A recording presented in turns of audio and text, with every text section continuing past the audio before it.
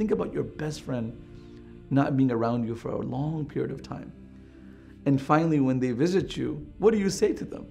This is what the Prophet ﷺ says to his friend after a long waited period. He says to Jibreel, ألا تزورنا أكثر مما تزورنا Why don't you visit us more often? He's basically saying, I miss you. And it's been a long time since you visited me. And Jibreel salam being the friend of the Prophet ﷺ, is also under the control and the order of Almighty Allah subhanahu wa ta'ala.